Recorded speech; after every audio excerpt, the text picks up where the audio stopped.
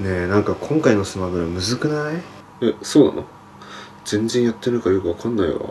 なんかすぐ吹っ飛ばされるわ。それ普通に下手なだけじゃないの？まあそれもあるかもしんないけど結構初心者に優しくないってネットでも言われてんだよね。なんか子供がコントローラー投げてゲーム機壊しちゃったんだって。ええそんなに初心者に厳しいんだったら歴代のスマブラやってからやればいいんじゃないの？それはちょっと違うよこの最新ゲームというお祭りもみんな楽しんでんだよ。うーん。別に古いゲームでも楽しいと思うんだけどね。てか昔のファミコンのゲームの方が絶対難しくない？そりゃあね。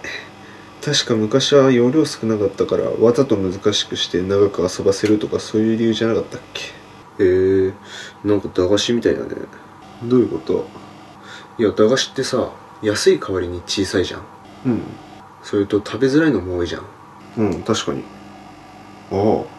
少ないのをごまかすためにわざと食べづらくしてるってこと？そうそうそうそう。多分だけど。じゃあ昔のファミコンのゲームって駄菓子みたいなもんなのか？まあそんな感じじゃない？でもさその理論だと今のゲームって普通のお菓子みたいなもんじゃん。ポッキー的な。うん。まあ。じゃあ今回のスマブラは食べづらいポッキーってことになるのかね？食べづらいポッキーって全然想像つかないんだけど。確かに。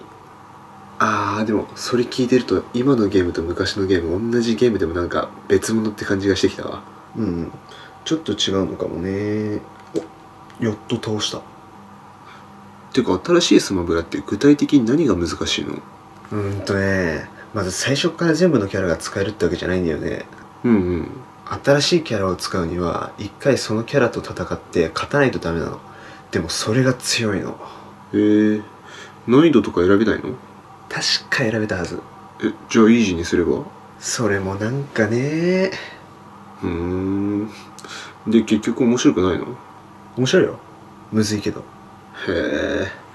まあいろいろ文句言いつつ楽しんでる人の方が多いのかもね。まあそんなもんでしょう